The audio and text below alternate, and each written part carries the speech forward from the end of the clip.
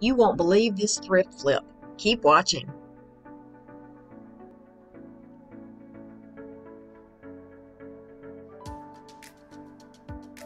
So we're going to start off with this that I got from Goodwill. This is a sort of a, I don't know, organizer that you hang on the wall by your door.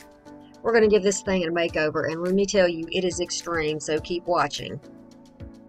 You can easily remove the backing here, so you have lots of options, and the possibilities are endless. But it does need some cleaning, so we're going to get to doing that. Just using these little antibacterial wipes and just wiping this entire thing down.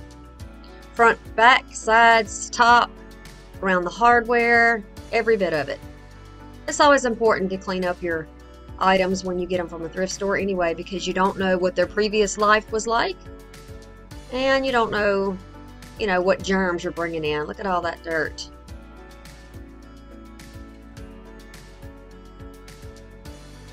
giving them a fresh start. So a bath is the first part. Then I'm going to use my metal ruler from Dollar Tree and pop out this little I don't know it's almost like a wicker insert. Clean that up. And I'll take the back off and the cork board off. Put it to the side. That can be brushed off too if you want to brush it off. I'm going to take a just my regular little screwdriver. I keep in my toolkit over here. And I'll remove this hardware. This makes it so much easier when you are painting an item. Just take the hardware off. Otherwise you're going to have to paint, you're going to have to tape all around it to keep from getting paint on it and it slows your process down. So this makes it a lot quicker. Those are tiny screws, so be sure you put everything together in a bag or a bowl. Place them to the side, and I'm going to use this Rust-Oleum 2X flat white paint. I'm going to take it outside and give it two coats. I left the black, the back of it just plain. Okay, so now it's time to replace that hardware. I did clean that off. It's black, so it's going to go with pretty much anything. I didn't notice any scratches or damage to it. But if you like a rustic, a rustic or aged farmhouse look, then you know rusted pieces would be fine. You could also take your hardware and spray paint it any metal color that you like or whatever works in your decor. The likelihood of finding a piece identical to this is probably not too high. However, my channel is about making it my own, so you make it your own. This is for inspiration because I want you to see what a difference just a little bit of extra time and loving care can do to a project. And this piece, I probably paid maybe a dollar and a half. So then you're going to take some fabric. This is also thrifted fabric. Apparently someone was, there was a bunch of remnants of fabric. So apparently someone was either maybe making masks or making quilts or crafting with it and I decided it would be great to cover up my little piece of corkboard. Plus, I'm totally into lemons. If you've been watching my channel, you know how I'm obsessed. Now I'm just picking which part of this image would be the best, which one's the best fit, and which piece I like the best. I'm taking my rotary cutter. These things are so sharp. And just going down the sides, I want to make sure that I have excess on both sides, about, yeah, maybe an inch, because I want to wrap it around the back.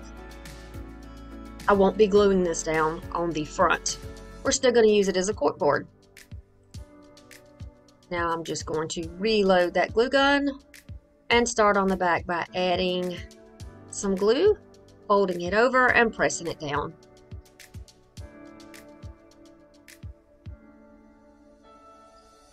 Please excuse my nasally voice. My allergies have gone wild. It is full blown spring here in southern Alabama where I live, and my sinuses are getting hit pretty hard. So, sound a little strange. That's why. Okay, you can pull out all those little extra strings on the back if it bothers you, but no one's going to see this. Okay, so if you notice when I pop it back in here, there's still some space that didn't get covered and that is so easy to fix. I'm going to use a little bit of ribbon and just trim that out. This is some Christmas ribbon that I had, I think from Dollar General that I got on clearance. No, maybe Big Lots. I think it was Big Lots. I'm just going to add a little bit of glue on the top to hold that piece in place. Be sure you leave it longer on the edges so you can wrap it around the back. Same thing here on the bottom. Just going to go all the way to the edge. And I think it's a nice detail. It looks good with the fabric that I chose. And you're just going to fold this over. Remember, there's going to be a backing on this, so there's no need to finish this out in any way.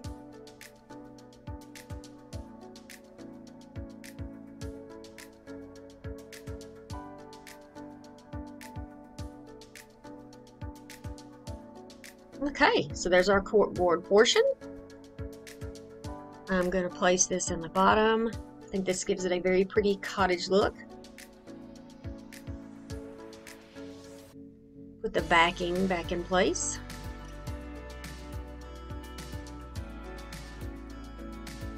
And then press the tabs back down. Now that portion is good to go. Now we're going to work on the top.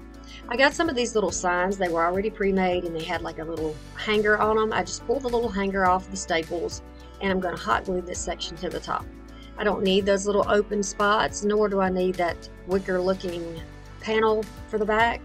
I thought this would be a great option if you wanted to personalize it with your name or put a particular date that you needed to remember or maybe even a scripture or saying that you enjoy.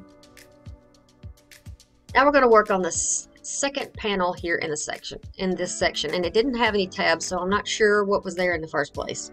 We're going to fix that by measuring it. I think this is a 4 by 6 and I'm just going to trim down some foam corkboard which came from Dollar Tree.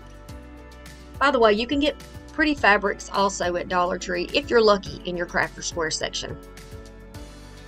You could use an old pillowcase or a sheet or a napkin piece of a tablecloth whatever you wanted to use. Just you know, think outside the box a little bit, make it your own. So once I get that cut down, I'm going to make sure that it fits, and it does. Now you could leave that white if you wanted to, but I want to cover it with a coordinating print. So I have some of this that came out of a paper pack from Target, and I got it at Goodwill, I think. And I'm just going to, it's a green, black, and white, kind of a plaid. I'm just going to measure that out cut it out and then glue that down. You could use a glue stick if you want to, or just use some dots of hot glue and put that down on your, around the edges. And I'm just going to do the top and the bottom. There's no need to cover it in glue. And I'll have a nice, flat, smooth, finished look. I think it looks good with that print that I'm already using. And I've chosen a sticker from a, it's like a dimensional, see there, sticker from Dollar Tree. They have several packs of these are really, really nice quality. And I've used them in projects before. I'm just going to press that down and then using a combination of my scissors to give it a rough cut and then my, I use manicure scissors for detail scissors You'll see those here now. I'm going to go in around closer to it and just trim that out. I wanted to give it some dimension and have it stand off of that section just a little bit. So it kind of crushed it down just a little bit when I was cutting with my scissors at the wrong angle. Just went back in with a uh, pin and fixed that up. Touched up the little pieces that should have been black that kind of looked white because they were had a little dent in it. And I just fixed it little hot glue. I'm going to put it in the center. Matches nicely with the backing there and with the bottom section. Look at that. Perfect. Use a little bit of hot glue in there and hold it down.